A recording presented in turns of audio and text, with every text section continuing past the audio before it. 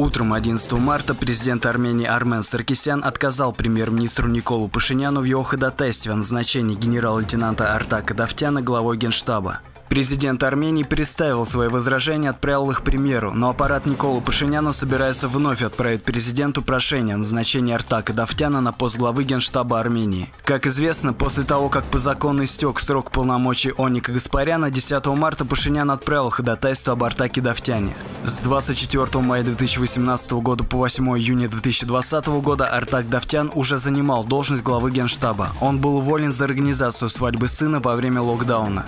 Кандидатура Давтяна на новую должность предлагается на фоне противостояния руководства Генерального штаба с премьером.